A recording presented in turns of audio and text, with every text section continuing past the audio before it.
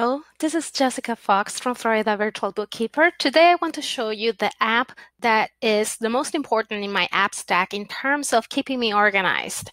It's GQueues. This is what I use to keep track of what I need to do, but also to help me time block.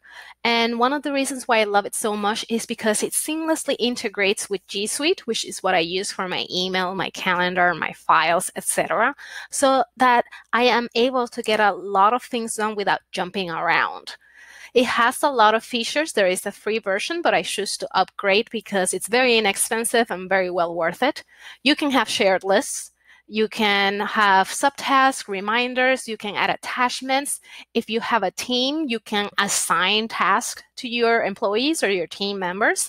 You can have team drives to work collaboratively, tags, search, small filters, comments. It integrates with Gmail, and there's mobile apps for it. It really offers a lot for a very small price. So I just want to show you a little bit of what it looks like under the hood. I'm just going to move this out of the way so that uh, you can see better. Because I have my entire life in this app, I cannot go into detail and show you a lot of what I have going on because I do not want to inadvertently share any client information. But essentially, uh, you can set up different queues, which are like different to-do lists. Uh, I have a folder for clients. If I were to expand that, there will be all of my clients listed. I have a separate folder for outsource because I do outsource work for ta tax accountants and other bookkeepers. I have my general business queue that I then break down within administrative tasks, my continuing education, marketing, and personal because if I don't write it down, I forget. I actually have GQueues remind me when I need to take out the trash or do the laundry because otherwise I will forget. So it does offer a lot of customization and you can configure apps, you can share, and adding a task can be done in a variety of ways. From inside the app, you just click add a new task. You just start typing what your to-do is. In the calendar, you can select when that item would be due. You can assign it a time. You can say that you want to work on this at 10 a.m. and it's going to take you 30 minutes. You can choose what type of reminder you want to get for it. No reminder, an email reminder, a pop-up reminder. I need pop-up reminders, so that's usually what I choose. How far in advance you want to get a reminder? Right at the time, five minutes before. When it repeats, you can configure even custom repeats it's very versatile. And then I can assign, uh, add, invite people to share the task. I can add notes to remind me what I need to do about that task. Add attachments. I can add comments. The comments are tracked here on the right hand side so I can have conversations with team members about things without cluttering the actual to do, the different tags. And then I can duplicate it. I can add subtasks a lot of things to do. Then I can just drag and drop it and move it into different queues. I can duplicate them. My smart queues, this is a feature that I really like, is because it's a way where you can customize your view. So for example, as you can see here, my top one is my due today in parentheses, not waiting on client, because let's face it, sometimes we have things that we wanted to do today, but we can't move on just yet because we're waiting to receive something.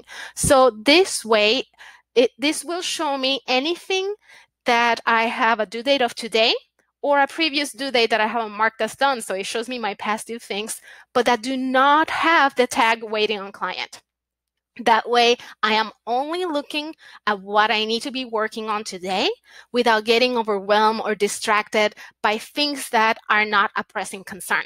I do have a smart queue of just the things that are tagged waiting on clients. So that way, I know who do I need to nudge and follow up on. And I can customize other smart queues as needed. One of the things that I love about GQueues is that because it integrates seamlessly into my Google Calendar, when I look at my week, here I'm looking a little bit far into the future so that I know that there's only placeholders in place. You're not going to see any client names or anything uh, personally identifying. I have uh, the, my tasks from GQueues showing in a different color. So uh, right now, the blue is my business calendar. GQueues would show in teal. And the beautiful thing is that if I want to create a task while looking at my calendar, I do not need to switch over. It's as simple as creating a new event. So let's say, for example, on Monday morning, I want to do some client work. I'll just put a client initial and I'll just say reconciliation. When I select the calendar and I select the GQueues calendar, it will automatically add it to the GQueues to-do list.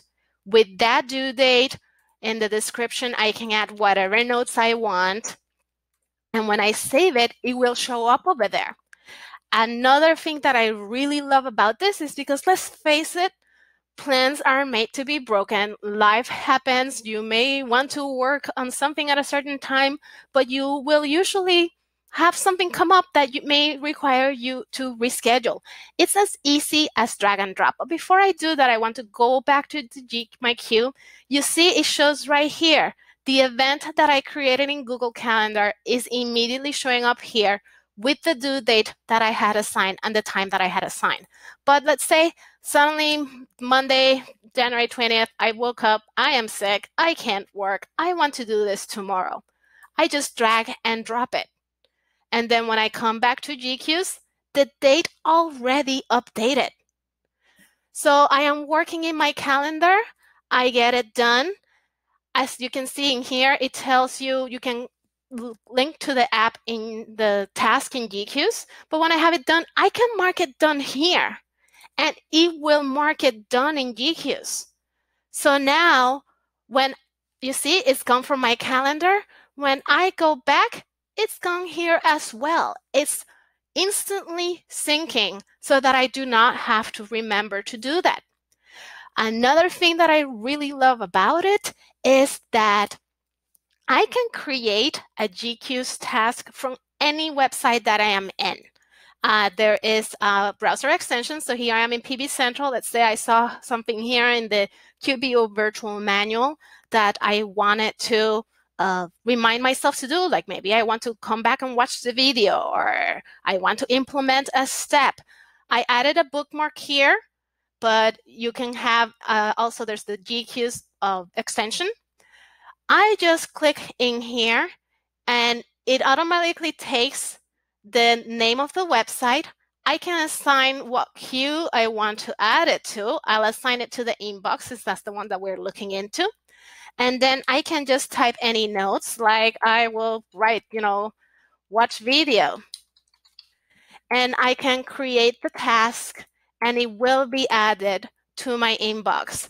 And in GQueues, there's like this uh, little shorthand. So I could, if I had wanted, I could have typed in due dates, times, tags when saving that, and it would have carried over to the app. So here it is in my inbox already. And there's the link to the web page that I created the task from. And then I can reorganize it. I can say this is continuing education. So I just drag and drop it in there. And because sometimes we get emails from people and they require a to do, I just open a random email. This is from the Successful Bookkeeper podcast. I hope that you listen to it. It's great. But I just received the notification that there's a new episode. I am too busy right now. I don't have time to listen to it right now. I have the GQueues add on for Gmail. And from the email, I can create the task to remind me to do it. It automatically adds the subject as the title, but I could change it if I want to. I could assign what queue I want it to go into. I can give it a date. So I'm going to say, remind me tomorrow. Or you can select a custom date. Well, what you can assign a time. You can set the reminders. You can do the assign a tag. I'm going to say this is admin. And you can do everything from the email. And then you have the option of attaching the email to the to do or linking to it, adding any notes that you want and creating the task right from your email. So that way you do not have to have leave things hanging in your inbox cluttering your inbox for you to remember to do. When you have things in too many different places things fall through the cracks. This way everything is synced in one location. See, right here in my inbox is that task.